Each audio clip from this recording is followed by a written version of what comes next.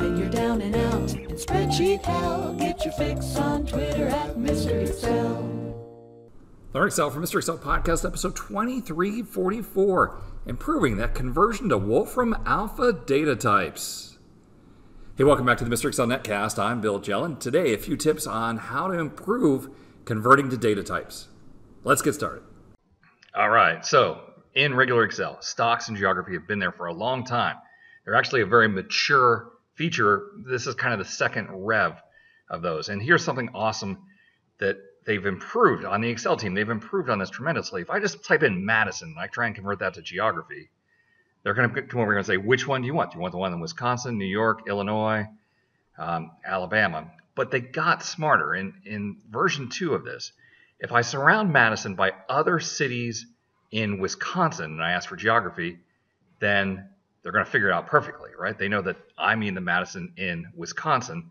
And here, Madison, a tiny little city in Florida, if I surround that with cities in Florida and ask for geography, they are going to automatically get Florida. How did this appear? Put that in in advance with an if error so it, it shows up. Ah, but here's the hassle. Wolfram Alpha. This is like brand new for Wolfram Alpha, and they aren't smart enough to look at the surrounding cells. So when I come out here and say that I want to put this as a location,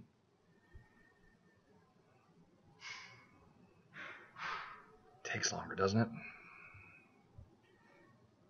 All right. They only got two of them, West Palm Beach and Daytona Beach. For Miami, they don't know if I mean Miami, Florida, Miami, Oklahoma, Miami, Arizona. I mean, it's not that Miami is the largest one. It was surrounded by other cities in Florida. So I choose select Orlando, Florida, or Oklahoma, Florida, and then Madison. I want the one in Florida, in Florida, Madison, Wisconsin, Madison, Alabama, Madison, Mississippi. I actually have to come up here and type Madison, comma Florida in the search box, and then they get the Madison that I meant for them to get. All right. Now, does that mean that Wolfram Alpha is worse at this? Well, they're new at this. All right, but let's check uh, what each feature knows. So here's Madison with the map icon, this geography, the one that's been around forever. Uh, very nice. They'll give us the image of Madison, uh, tell us it's in Florida, uh, it's in Madison County, the area, it's United States, latitude. Um, the learn more, I don't understand why they're returning a link that doesn't work. I don't get that. Uh, the longitude, name, population, and time zone. All right, so that's everything they know about Madison, Florida, or even Madison, Wisconsin.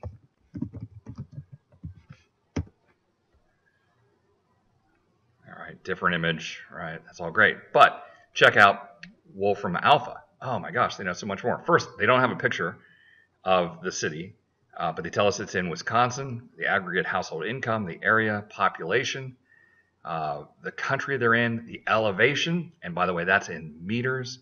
How many females live there? The number of households, uh, the household income breakout, a little map that you can put in, uh, locations. So they show Wisconsin and where in Wisconsin. Um, the male population, median household income, the name, uh, famous people that are from there. Look at that, Chris Farley. All right.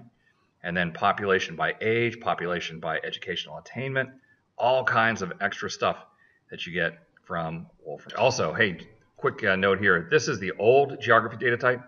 Uh, in this new version, the one that you can get on Office 365 Home, they've also improved the card and that I can now look up Wisconsin, right? So that new feature where you can drill down right in the card, uh, that improvement is there, although it's not there in the enterprise editions of Excel yet.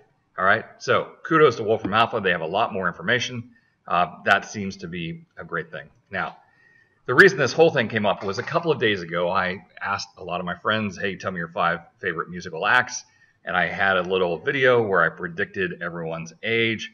Uh, and it sort of worked. There were a couple that were wrong, but it came out well. But I had said I was surprised how hard it was to get this data in. It took me hours to get this spreadsheet to work because here is what it looked like originally. There were several items that it could not figure out.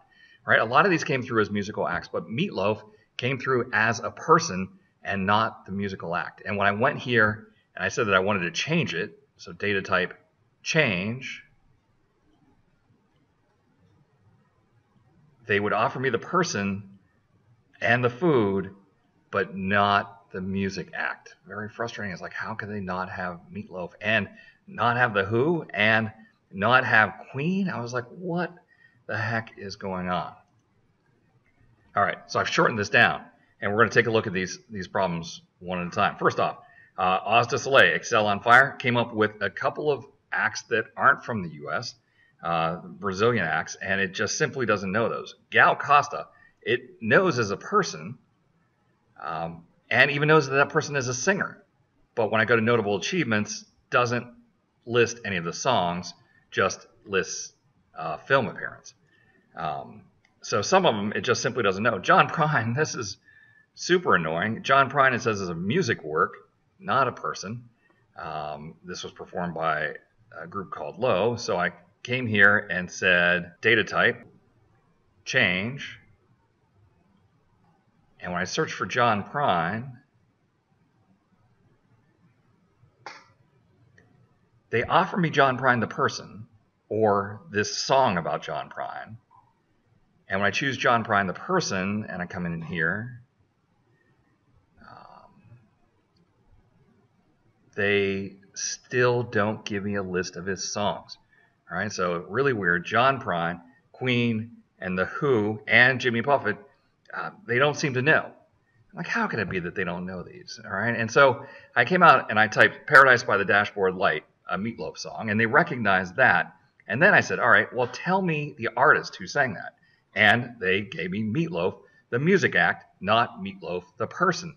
And check this out. I'm actually able to take this, Control C, and then come down here to this cell and I'm going to paste special values. So home, paste, paste as values, and it doesn't paste as values. It brings the data type, but now it brings them as a musical act. And I'm like, this is insane that I have to do this for each person.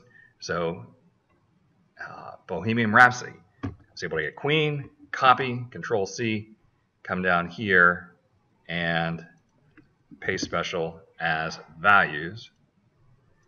Click OK. Jimmy Buffett and the Coral Reefer Band.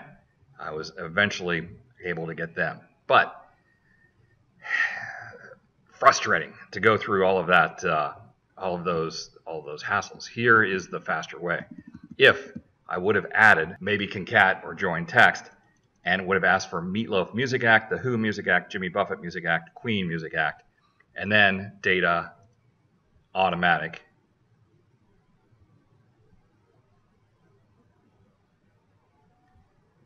just seems like it takes a long time. Then for all of those, I get the correct item. I get the musical act. So entity type, music act in all the cases. All right, so that would have helped with those four. Uh, but these five, uh, either they're too obscure. Sorry, Mike Girvin. Sorry, Oz. Uh, sorry, my sister Barb.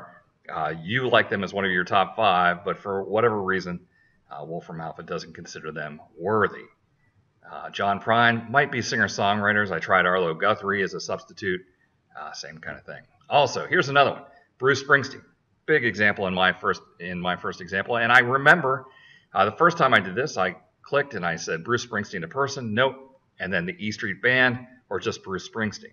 So here I'm going to choose Bruce Springsteen and the E Street Band. And then over here, I'm going to choose Bruce Springsteen Music Act.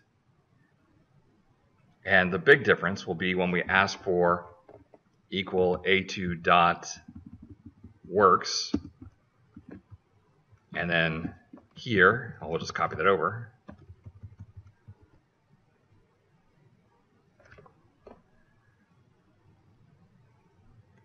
And then ask for the count, count A.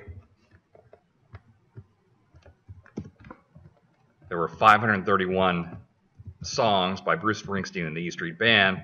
But if I just do, but if I just do Bruce Springsteen, then I get 1019. Right? So that's one where um, I guess because I chose wrong in the uh, in the data selector, uh, get very different answers. All right. So the point of all this, I guess, be careful. The stocks and geography are smart enough to look at the other cells. Hopefully, at some point, Wolfram Alpha we'll be smart enough to look at the surrounding cells. uh, might lead to much better results. And then adding what you're looking for, the entity type, uh, seems to improve the uh, performance a lot. All right, so try that, and then just be careful uh, depending on whether you're getting the artist or the artist and their band.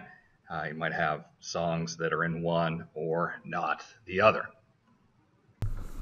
It was like when we started this. Let's call it a day. Please, down below the video, like, subscribe, ring the bell. Feel free to post any questions or comments down in the comments below. I want to thank you for stopping by. We'll see you next time for another netcast from Mr. Excel. Tips and tricks, get your spreadsheet fix at MrExcel.com.